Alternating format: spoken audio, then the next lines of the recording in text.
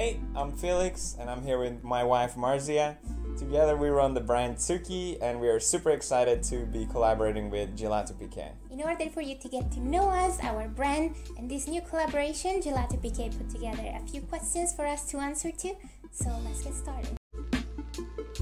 I remember the first time I saw the brand, I was in Japan. I thought every single piece was so fluffy and so pretty, and then we just started talking and then one thing led to another and we created this collaboration. There's no type of pajamas in this level that I ever tried. I don't think I've ever seen you in a pajama. No, I don't like pajamas originally, and then I got converted. The softness of everything. It is so comfortable. As soon as I come home now, even if it's early, I'm like, it's pajama time.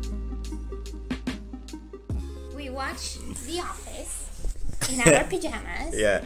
And then at 9:45, God, we're such an old couple now that we're married. at 9:45 the pugs need to be fed and walked.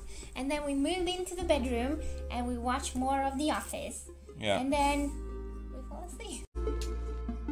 Tsuki, or we pronounce it wrong, ski, means moon in Japanese. So we it fits with pajamas already. In this piece I'm wearing, you can see the pattern of the moon and a rabbit because in Japan they see a rabbit in the moon. And then we decided to do a different pattern for a lunch set. This one is more like a camo but with subdued colors. We also got socks The socks are the best! and slippers. And slippers.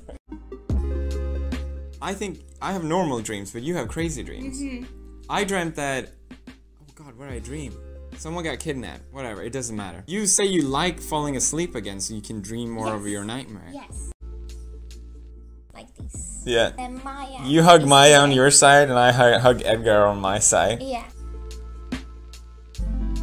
We went, went, there a few weeks yeah, ago. recently, yeah. Mm. We love everything. We're total shinichis.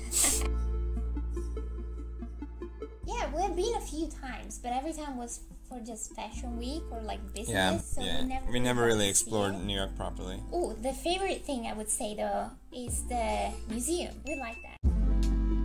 A lot of fun stuff. We have a pop up coming up in Canada, Toronto. Maybe it's already happened. Yeah, well, if that's already happened, more Epic. there will be to come. There will be more to come. Three, two, one. The socks.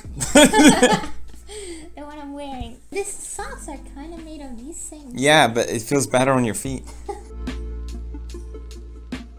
we hope you enjoy the Tsuki Gelato Pique collaboration as much as we do, and uh, thanks for watching.